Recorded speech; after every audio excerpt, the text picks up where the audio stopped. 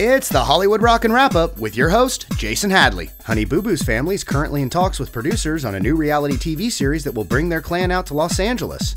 The series will focus on the family's adjustment to celebrity life, but then again, how can Mama June be full of herself when she's clearly already full of McDonald's, KFC, and Taco Bell? Adam Lazzara, lead singer for the band Taking Back Sunday, was ironically arrested last Sunday for drunk driving. With his band name regrettably becoming a reality, Lazzara might want to take advantage of his prediction talents and rename the group 12, 22, 37, 46, 51 in the Powerball 6. And speaking of stars with legal issues, Vanilla Ice was arrested and charged with burglary after taking items from a vacant house not far from where he was shooting his DIY network home improvement series. Should he serve jail time, no doubt a guy named Vanilla will be quite popular in the prison shower room.